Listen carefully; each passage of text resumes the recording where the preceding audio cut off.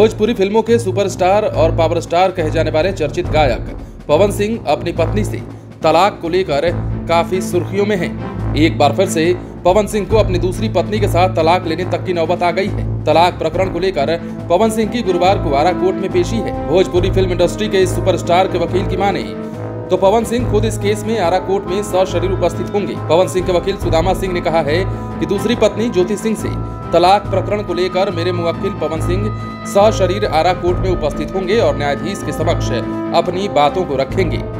सुदामा सिंह ने यह भी बताया कि चूँकि मामला पति पत्नी के विवाद और तलाक का है, इसलिए कोर्ट में अर्जी के रिकैंसिलेशन, यानी कि पंचायती के मुद्दे पर कार्रवाई और सुनवाई होगी। उन्होंने बताया कि पवन सिंह और उनकी पत्नी ज्योति सिंह दोनों न्यायाधीश के समक्ष उपस्थित होंगे। इस दौरान न्यायाधीश की तरफ़ से दोनों को एक साथ रहने के लिए और सुलह करने के लिए समझाया भी जाएगा।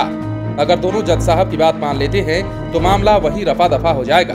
पवन सिंह के आरा सिविल कोर्ट में पेशी को लेकर पहले से ही उनके चाहने वालों की भीड़ उमड़ सकती है। पवन सिंह के वकील ने बताया कि पवन सिंह दिन के 11 बजे कोर्ट में उपस्थित होंगे। इस दौरान उनकी पत्नी ज्योति सिंह के भी उपस्थित रहने की संभावना है।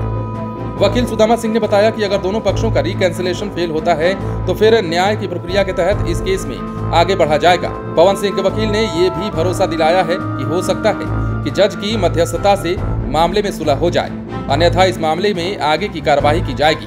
दूसरी ओर, ज्योति सिंह के वकील विष्णुधर पांडे ने कहा है कि मेरी मुवक्किल ज्योति सिंह को न्याय मिलना तय है। मैं अपने मुवक्किल ज्योति सिंह को साढ़े तीन लाख रुपए का मेंटेनेंस ज़रूर दिलवाऊँगा।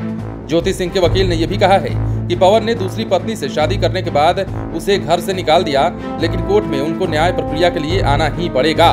अब, पवन सिंह एक बार फिर से सुर्खियों में इसलिए बने हुए हैं क्योंकि पहली पत्नी नीलम का मामला अभी तक उतना ठंडा नहीं हुआ था कि उन्होंने दूसरी शादी कर ली। अब उसके बाद, जब ज्योति सिंह से पवन सिंह की दूसरी शादी हुई, उसके कुछ साल तो ठीक चले।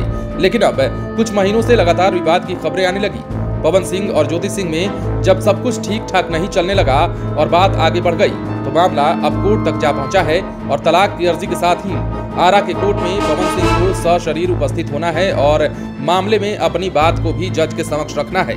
ऐसे में अब देखने वाली बात यह है कि पावर स्टार पवन सिंह के साथ खड़ा हुआ ये नया विवाद कहाँ तक जाता है? क्या दूसरी पत्नी ज्योति सिंह से भी पवन सिंह अलग हो जाएँगे या फिर कुछ और होगा। पवन सिंह जज की बात मान लेंगे, ज्योति सिंह जज की बात मान लेती हैं तो सुलह भी हो जाता है। अन्यथा अब दोनों का अलग होना तय माना जा रहा है। बहरहाल, पवन सिंह लगातार इन चीज़ों को लेकर सुर्खियों में बने रहते हैं। पहली पत्नी का जब मामला उठा था, तब भी पवन सिंह सुर्खियों में आए थे। हालाँकि उस समय ये बात ज़्यादा दिनों तक नहीं चली। कुछ ही दिनों बाद ये मामला शांत हुआ नहीं कि ज्योति सिंह से शादी हुई और अब मामला कोर्ट तक जा पहुँचा है। देखते रहिए आगे आगे क्या होता है। बने रहे लाइव सिटीज़ के साथ। यदि आपने इस चैनल को सब्सक्राइब नहीं किया है तो सब्सक्राइब कर लीजिए, ताकि हम आपको खबरों से अपडेट रख सकें।